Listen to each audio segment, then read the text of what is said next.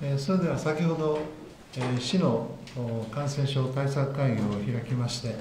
え今後の緊急事態宣言を受けての市の対応について協議、え決定、確認をしたところでありますので、えその概要を皆様にお知らせをしたいと思います。え首都圏1都3県に続きまして、この度、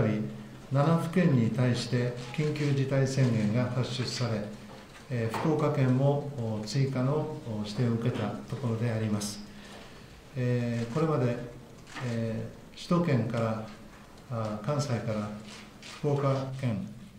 そして、北九州市と、このように、時間を置いて感染が拡大してきた経緯を考えますと、対岸の火事ではないと、極めて憂慮すべき状況が続いており、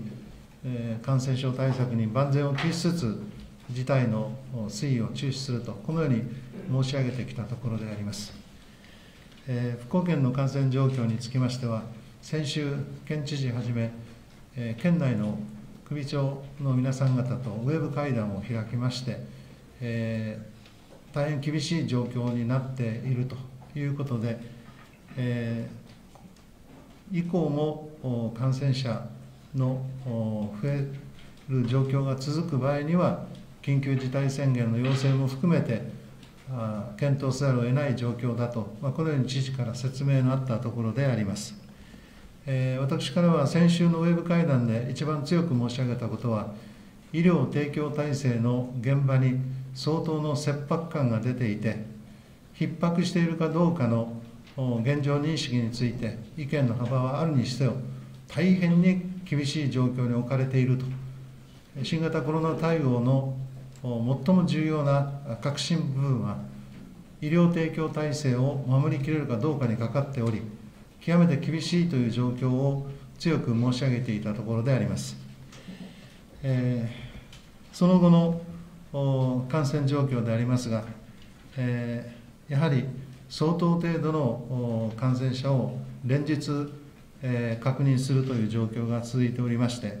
えー国の方からあ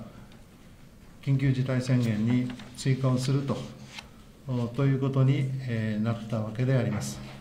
本市の感染状況については、グラフを用意しております。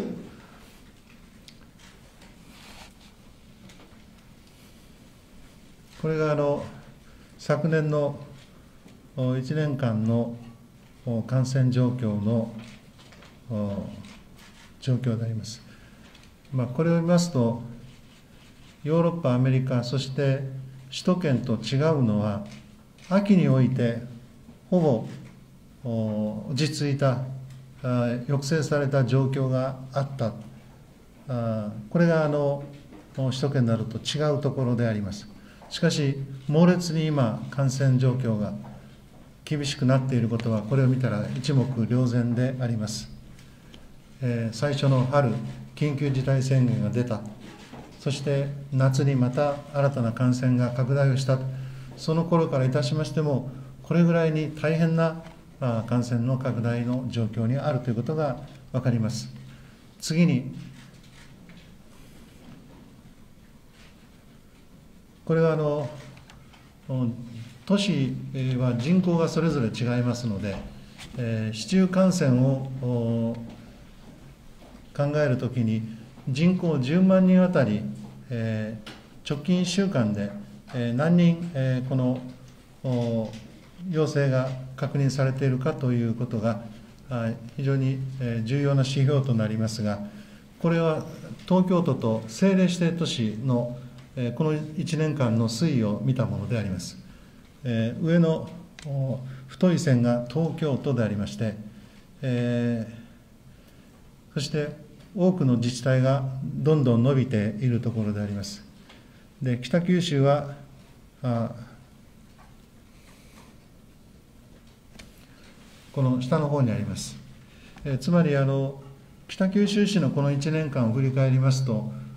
昨年の12月から今日に至る状況は、極めて厳しい状況になっておりますが、全国的に見ると、大都市、政令指定都市の中では、まだそれでも頑張っているという状況にあります。はい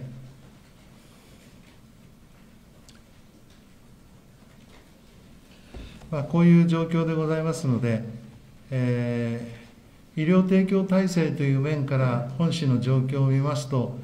えー、軽症者の3分の1ぐらいしか病院に入れない、あるいはホテルに療養に回れないという、こういう状況になっておりますので、えー、大変心配な状況に至っているわけであります。したがいまして、えー、先日、県知事の方からあ緊急事態宣言に不公権も追加でなるという説明でありましたが、その中で、何としてでも抑え込みたいという国の強い意向を受けまして、えー、追加発令をするということであります。えー、国の総合的な判断として妥当であると、このように考えます。えー、国の今回の決定を受けまして、え本市の対策会議を開催して、本部員と検討しました結果、まず市民への要請といたしまして、生活や健康の維持に必要な場合を除きまして、不要不急の外出、移動を自粛していただきたいこと、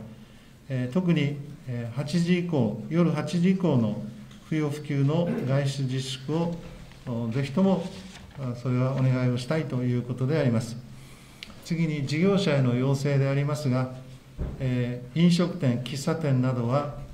夜8時までとして、お酒の提供は夜7時までと、このようにお願いをしたいと思います。えー、劇場映画館、運動施設、博物館、美術館など、営業時間を夜8時までとしてま、えー、いります。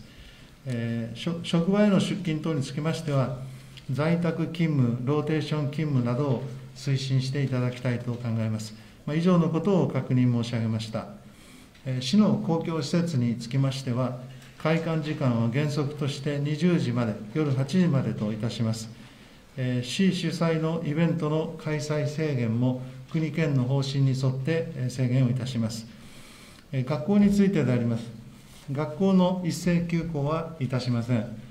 え。体育の授業は可能な限り屋外で実施するということです。部活につきましては、密集する運動、接触する場面が多い活動、大きな発生を伴う運動は行いません。また、中大連等主催大会以外に、大会への参加などは当面の間中止と、まあ、このようなことを決定したと、教育委員会からも聞いております。えー、次に医療提供体医療供給の拡充であります。えー、今申し上げましたように、えー、人との接触をできるだけ減らして、感染を抑え込むということと合わせまして、宿泊療養を含めた医療提供体制の充実が不可欠であります。えこの点、福岡県におきましては、えホテルの稼働率が低いこともありまして、えそれも含めてですね、引き続き最善を尽くしていただきたいと要請をしております。次に、社会経済活動との両立であります。えこれにつきましては、えー、で、に、えー、先日、えー、皆様に報告いたしましたように、本市独自の経済支援、緊急対策といたしまして、えー、春に行く券、まあ、飲食店向けにクラウドファンディングを活用した春に行く券、またあ宿泊事業者を対象にテレワークなどの推進プラン、えー、また北九州独自の感染防止対策を兼ねた緊急経済支援を行うことにいたしております。これは2億円余りの財源を使いますけれども、現在、これをさらに追加、補強するための経済支援策といたしまして、補正予算、そして当初予算において、それを盛り込む準備を進めているところであります。今回の宣言を受けまして、県知事から事業者に時間短縮の要請が行われることになりますが、その協力金につきましては、速やかにその方法、窓口などを決めて、えー、県民に周知いただくように、私から繰り返し県知事にお願いをしたところであります。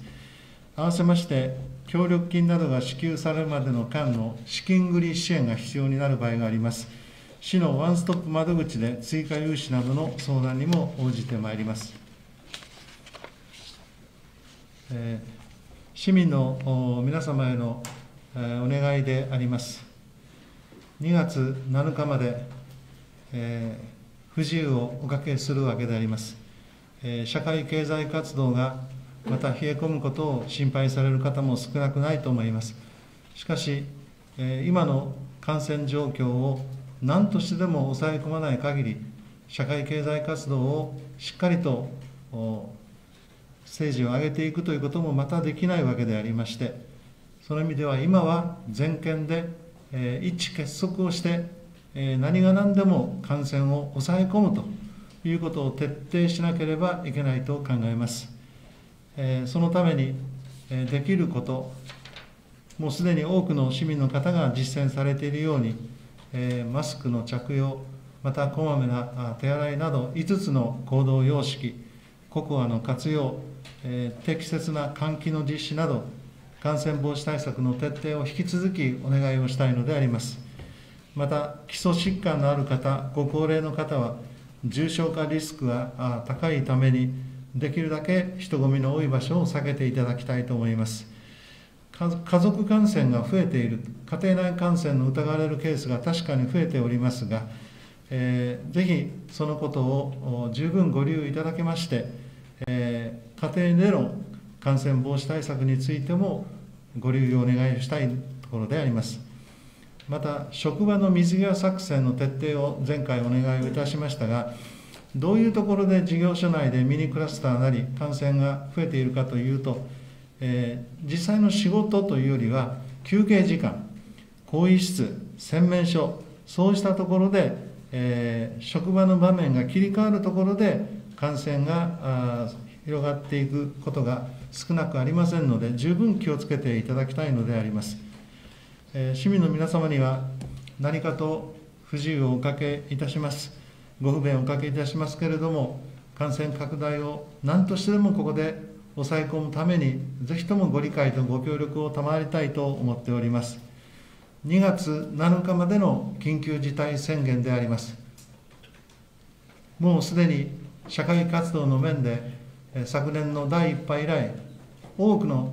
方々に大変なご不便をおかけしております。苦しい思いの方も少なくないと思います。そういう中にありまして、えー、皆様にこれから何としてでも2月7日をもって、こうした対策は終わらせるんだと、そういう気持ちでですね、市民、事業者、行政一丸となって、このしっかりとした実効ある、感染防止対策を成功させたいと、このように思っておりますので、皆様方のご理解をよろしくお願いを申し上げたいと思います。以上であります。それではご質問を承ります。幹事社の時事通信のエイと申します。先ほどの対策会議の冒頭挨拶でも少し市長触れられておったんですけれども、あの市職員の方々のテレワークなどをどのように推進推進していくのかということをやってもらってもいいでしょうか。えー、市の職員、例えば消防というエッセンシャルワーカーのそうした部局もありますが、そこでテレワークっていうのは成り立たないと思います。えー、多くの場合、行政の仕事の性格上ですね、えー、国が言っているように、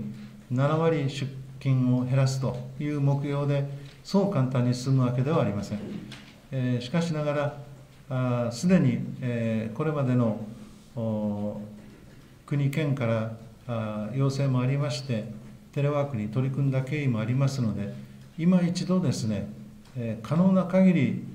このテレワークを推進をしてですね、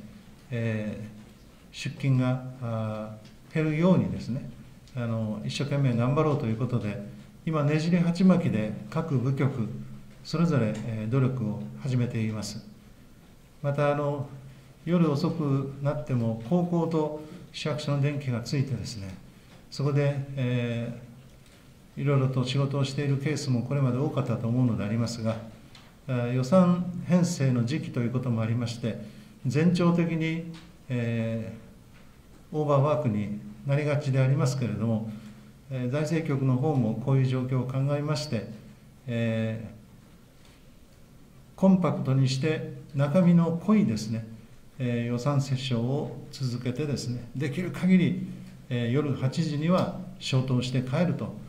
いうにしようという心がけているところであります。どこまでできるかは正直、えー、まだ具体的な目標は定まっておりませんが、今、あできる限り、えー、そうした面でも成果が出るようにあの作業に入ったところです。ありがとうございました。会社からは以上です。各時間お願いします。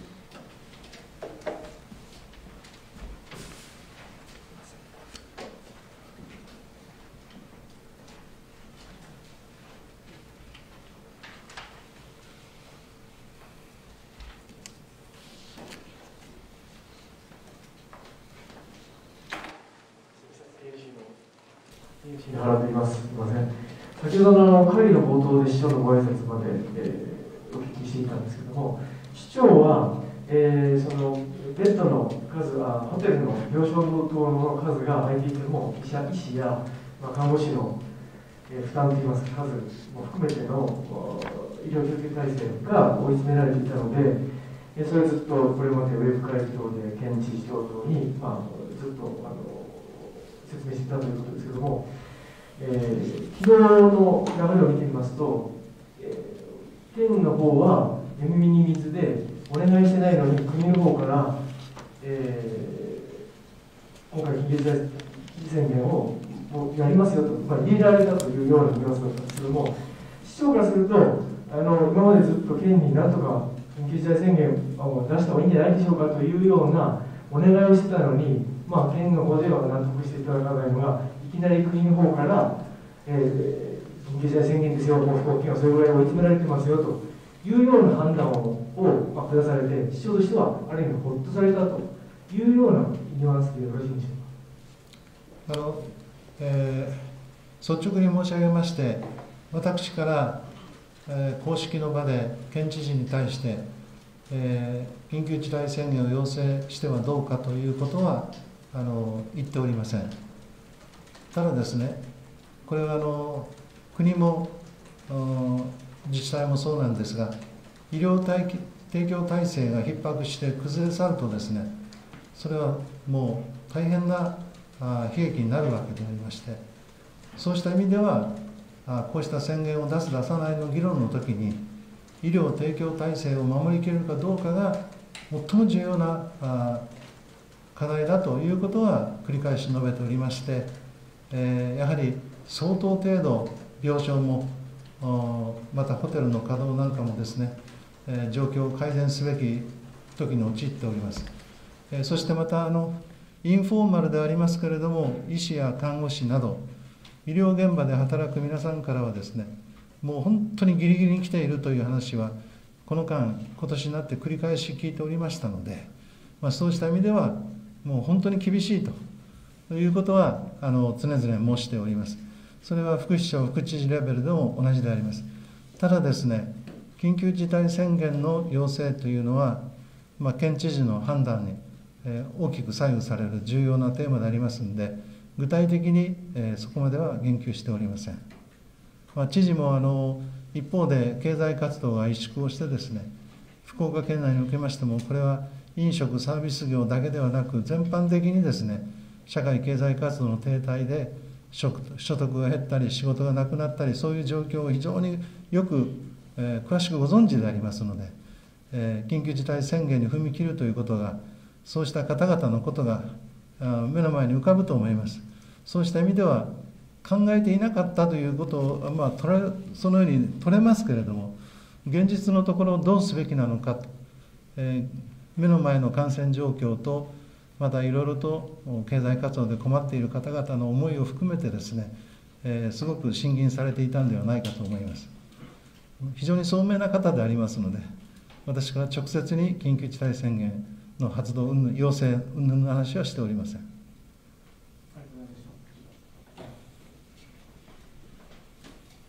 全く眠りに水だったかどうか、私、確認しておりません。つまりあの別に県知事に限りません、どこの市町村長もそうでありますが、感染防止のためにしっかりと対応すべきだというのはもう当然なんですが、一方によって、それによって社会経済活動が大きく停滞をして、大変にあの苦しむ方々が出てくるという、この2つのあの市民の姿を見ていて、どう判断するかであります。えー、ということで、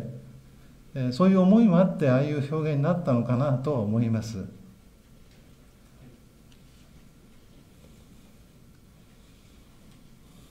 朝日新聞の布田と申します。あの医療提供体制の逼迫度合いについて、そこについてもあの県との認識が少しこうあの違うような気がしたんですけれども、北九州の方で、あまあ、非常に切迫していると、市長が先ほどおっしゃられたことにの背景でですね、あのまあ、例えば病床の関係の数値的なものだとか、現場からのこう普通なリアルな声だとか、そういうものをお持ちであれば、教えていただいてもいいでしょうか。えー国の方針によりまして、えー、病床、ホテル療養の確保というのは、あ都道府県を軸にして、えー、回すということになっております。えー、そこで、えー、病床の占有率などの数字につきましても、日々変動するということもありまして、えー、県庁の方も慎重にそのことは発信をしていると思います。したがいまして、北九州市内においてどうかということは、もちろん毎日その数字を注目しているわけでありまして、えー、持っているわけでありますけれども、まあ、これまではあのメディアから、質問を受けたときにはお答えした時もあったかもしれませんが、毎日変動すると、ある日退院ずっとされたり、またどっと入院されたりということもありえますので、その数字が一人歩きしないように、基本的には県は別にして、えー、市独自の病床占有の状況というのは、あの今まであのこちらからは発信していなかったという状況にあります。ただあの、えー、1月14日現在で見ると、8割、になっております。病床の使用率ですね。県全体では7割強であります。したがいまして、毎日変動するということ、それから制度自体が県を中心に動いているということで、本市のみの病床使用率というのは公表してこなかったわけでありますが、こうした数字を見てもですね、えー、かなり、えー、病床の確保は厳しくなっていると。それと、えー、ホテルにも病院にも行けないで、えー、自宅療養ということににはなっていない調整中というの方がですね、140人を超えております。そういう状況を考えますと、病床と、療養ホテルの確保というのは、極めて厳しい状況に至っていると自分は判断しております。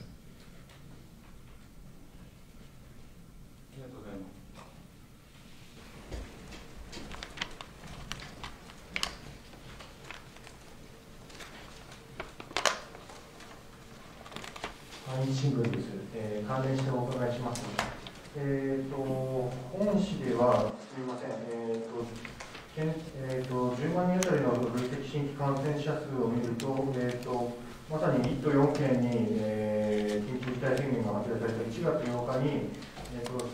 ステージ4の基準とされている25%を超えて27.91となっています。あの今回、市長がですね、えーと、その医療の逼迫というのを感じ始めた時期というのは、まさにこうした、えーと、ステージ4に上がるような25人を超えるような1月8日頃だったのか、それとももっと早い段階から、えーと、例えば北九州で言えば、え、12月の初旬から、えーまあ、50人クラスの人が出始めていた頃がありましたが、どのタイミングで、えー、その医療の逼迫だったり、危機感というのを市長の方は持たれていたかをお聞かせください。えー年末には、えー、今年の1月の行事予定をあの検討をするわけでありますが、その中で、えー、大変重要な行事は出初め式とですね、そしていつも同じ年に同じ日に行われます成人式であります。えー、出初め式は幹部職員のみで行うことにいたしましたが、成人式は何千人という方が対象になります。この行事を実施できるかどうかということが、昨年12月の日程協議の中の大きいテーマであったわけです。えー、同時に新年会であるとか、飲食を伴う会合のかなりはもうどんどんキャンセルになっていく状況に昨年12月になっておりました。で、従いまして、成人式が果たしてできるかどうかということで、年末年始、えー、市民の皆さんが静かにステイホームでですね、感染状況が落ち着くことを、まあ、あの願いながら注視をしておったわけでありますが、えー、残念ながら12月の忘年会シーズンあるいは旅行なんかでですねいろいろ通じてそこで感染というものが相当進んだということでそれがはっきりと1月になって、えー、陽性の確認ということになってきたと。いうことであります。それが日増しに大きくなっていく過程を通じまして、えー、大変残念だけれども大変に厳しい状況になったと。1波2波の時以上のものになりうるということで警戒厳しい思いをしておりました。本当に成人式をやれるかどうかは前の日まで悩んだわけでありますが、えー、徹底した感染症対策でそれを行うということを決断したわけでありますがそれが終わりましてですねやっぱり残念ながらどこかで食い止めないといけないなということを改めて感じました。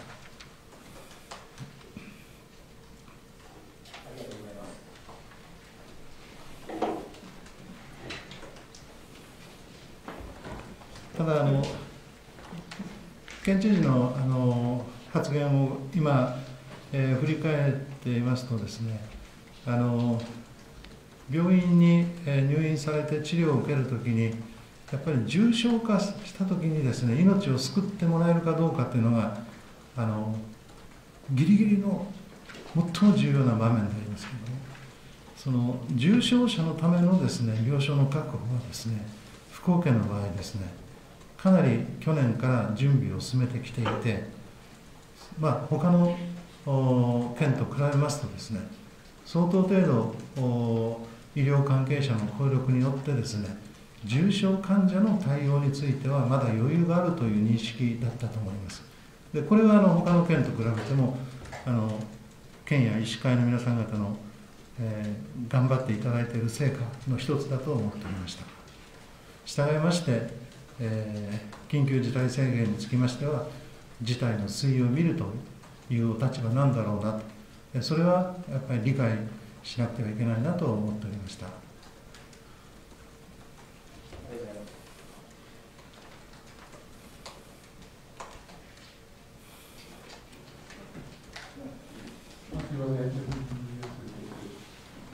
経済支援策についてなんですけど、えーとまあ、今期の初めにあの感染拡大を受けての経済支援策、緊急の支援策を打ち出したと思うんですが、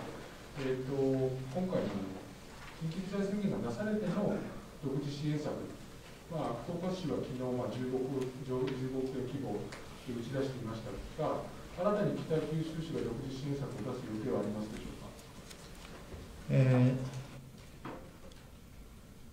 ー、予備費のですね、えー、活用できるものが若干あります。それと、国の方から補正予算の関係で交付金が市町村に、えー、交付される予定とも聞いております。えー、そしてまたあの執行残務を合わせまして、えー2月に議会に提出する予定の補正予算の中でまず新型コロナ対応の追加を行いたいと加えまして、えー、本予算におきまして当初予算におきましても新型コロナ対策は重要な柱でございますのでそこでさらに補強をするということで、えー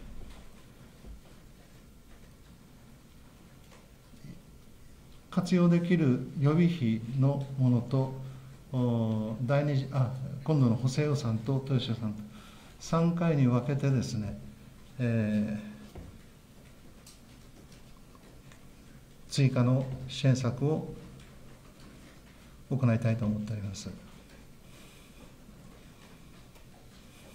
具体的にどういったところをターゲットにしたものを主義を置いてますか？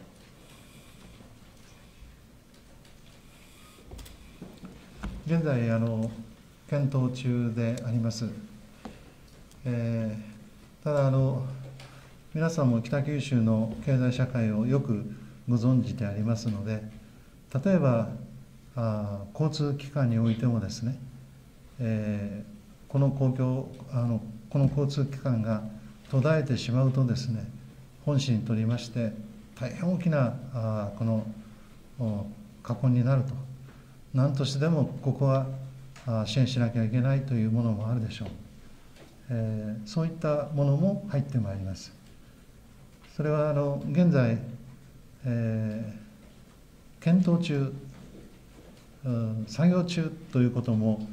えーいくつか入ってまいりますのであの今の時点で具体的にこういうところで追加をするということはあの控えたいと思いますけれども。まあ新型コロナの影響で、えー相当程度経済的ダメージを受けている方々への配慮というものが重要だと思っています。すみません、時間になりましたので、この辺で終わりたいと思います。ありがとうございましたありがとうございました。